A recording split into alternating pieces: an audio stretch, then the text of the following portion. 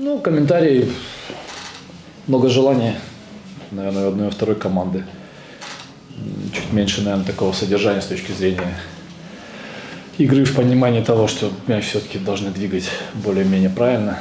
Меньше должно быть единоборств с точки зрения, что их нужно стараться избегать. То есть получилось, что, в принципе, ну, наверное, искрометный футбол. Много продольных передач, много единоборств, вот, как я сказал, много желаний и страсти. Но, к сожалению, не всегда холодной головы и качественного содержания.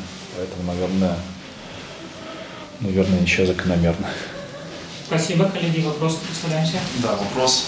Почему Шуманский вышел в старте?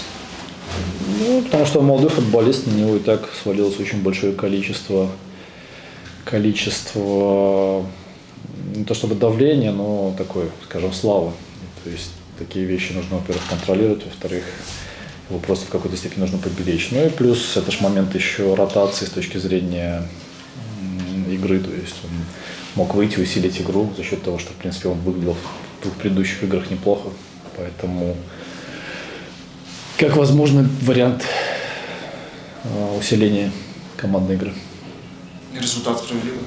Наверное, да. Мне сейчас, наверное, эмоций много, поэтому, возможно, я где-то могу чем-то погорячиться, но там у нас были моменты, у Ислыча были моменты такие максимально близкие. Наверное, закономерно справедлив.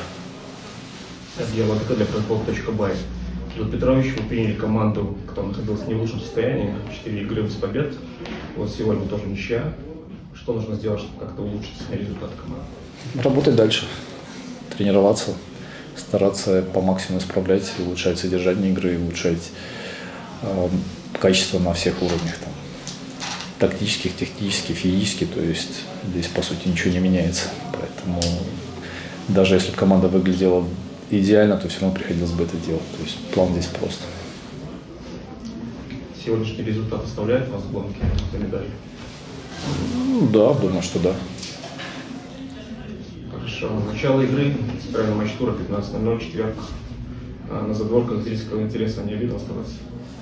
Ну, это действительность, поэтому если так получилось, что ассоциация решила, что матч будет полезен в это время, ну, значит, значит, так. То есть здесь тяжело что-то комментировать.